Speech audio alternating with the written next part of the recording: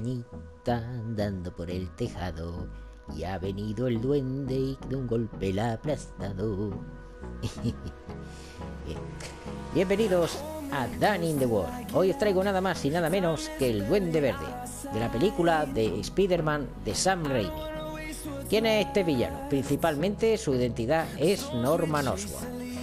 Norman Osborn dirige la, la compañía Oscorp, que es una especie de compañía armamentística para el ejército, pero los de su compañía planeaban vender la compañía y deshacerse de Norman. Así que Norman intentó desarrollar el suelo a prisa y corriendo de su personaje que iba a crear, pero salió bastante mal.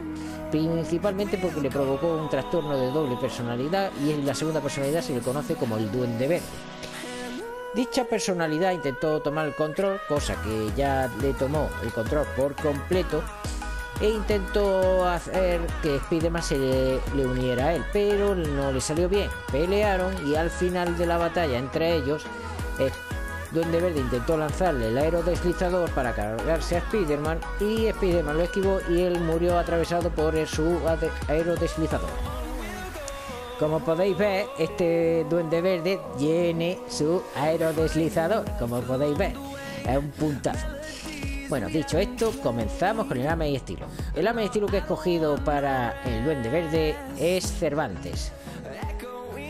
Pegleton, efectos de cómic y malvado. Cuerpo, clan del pueblo oculto. ¿Por qué he escogido el clan del pueblo oculto? Principalmente para las orejas, que son en punta como la del duende verde. Normal delgado, rostro de hombre 1, cejas 11. La cara es que no la he trabajado porque es que luego he tenido que pintarle el cuerpo y pintarle una parte de la cara. Así que lo más principalmente que debéis centraros es en la máscara, en lo otro no. Y le he puesto jefe de villano.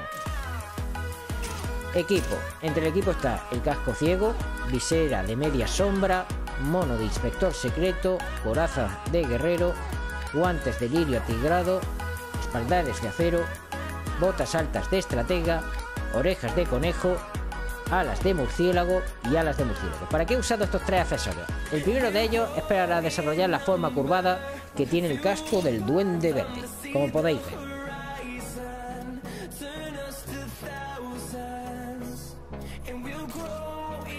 Y los otros dos, la ala de murciélago, es para formar el aerodeslizador. sí, como podéis ver, este duende verde luchará junto con su aerodeslizador. y izquierdo, entre ellos tenemos... Lo que principalmente tenéis que tener en cuenta a la hora de crear el aerodeslizador en el duende verde es que tenéis que ajustarlo de forma que no quede ni tan pequeño ni tan grande, un término medio.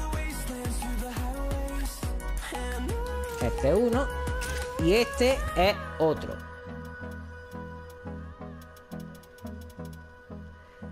Bien.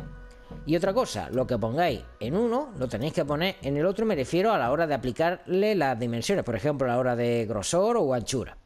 Bien, eso por una parte. Ahora pasamos al color. Una de las cosas que tenéis que hacer en el color es ponerle color verde a la piel, 2.19.9. Luego, en la parte del maquillaje de la cara le he puesto pintura facial 32. ¿Por qué? En la película de El Duende Verde de la película de Spider-Man de Sam Raimi, el casco del Duende Verde permite abrir la visera de la cara, solamente de la cara, bueno, de la parte de la boca y de los ojos. Así que le he puesto esto como a modo de referencia. Este es uno, 4199 y 4199 y 3104. Eso por una parte, bien. El color de la armadura obviamente es color verde, pero hay algunas partes que lleva distintos tonos. Por ejemplo, aquí es 5199. Aquí un poquito más, con un color un poquillo más vivo, ya que es de metal, 15199. Aquí de color blanco para que es lo puse en color negro, pero es que no se notaba mucho, así que lo he puesto en color blanco para que se note un poco los, los dientes de la máscara del duende verde. Eh, 3199 aquí. 3199 en los cuatro. Y 3199 en los cuatro. Aquí en esta parte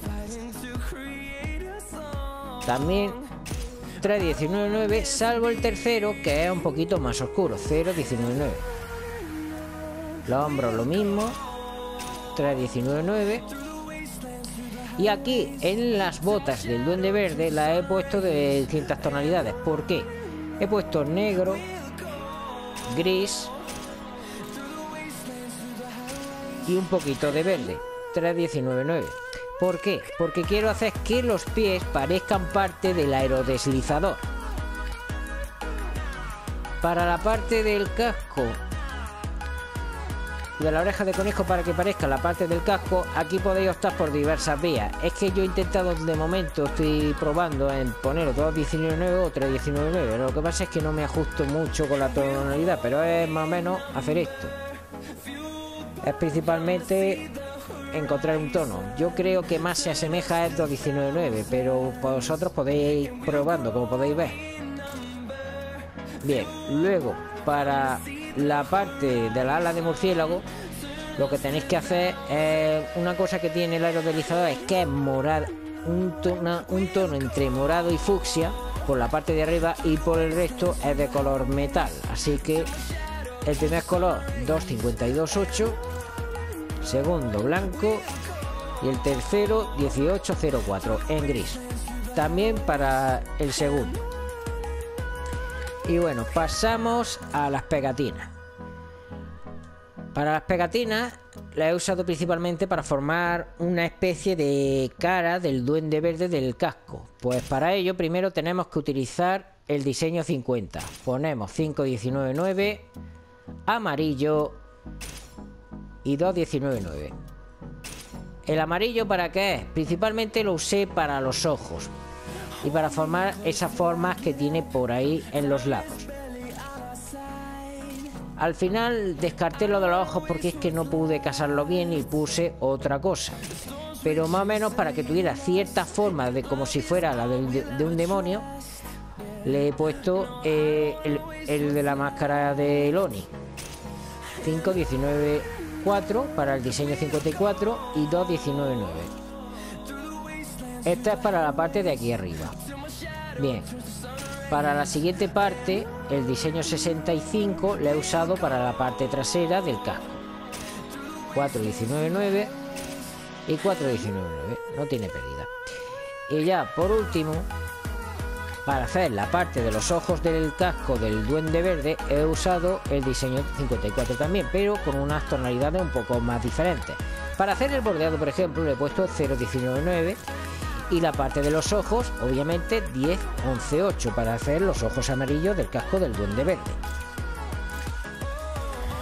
Luego para la parte de las botas he utilizado el diseño 3 para recubrir las botas porque son porque iban en color negro.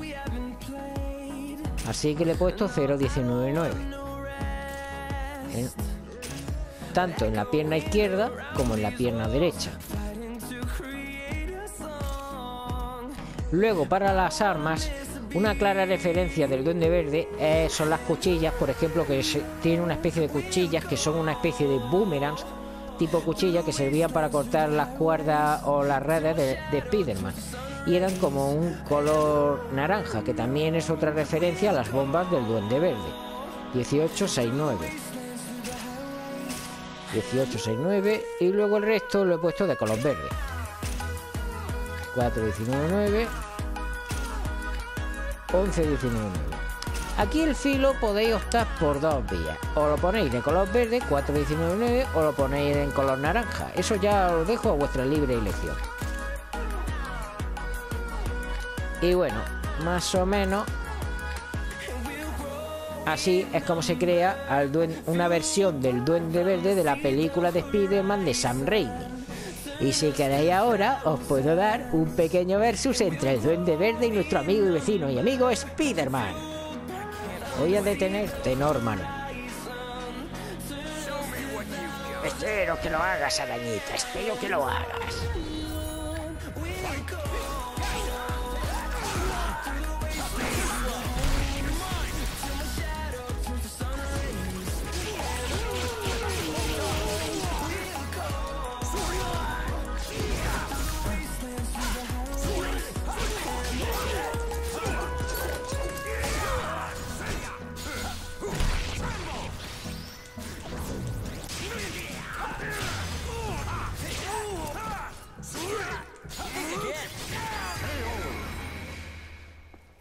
Y bueno, hasta aquí el combate entre Spider-Man y el Duende Verde.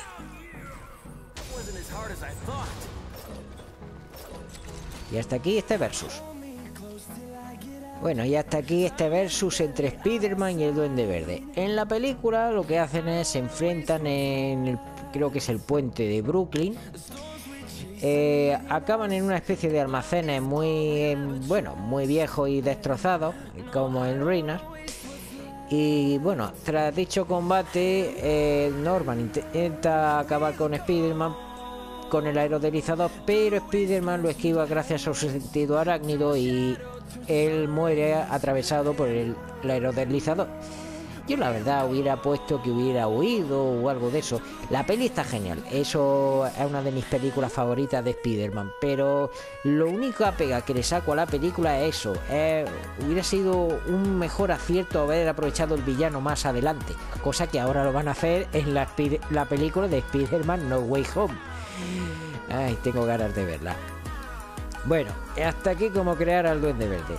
Si os ha gustado y queréis que cree alguna cosilla, ponérmelo en la lista de comentarios. Yo cuando tenga tiempo también crearé alguna cosilla. Lo que pasa es que me demoro tanto en lo que yo creo como en lo que vosotros me pongáis en comentarios. Y poco más.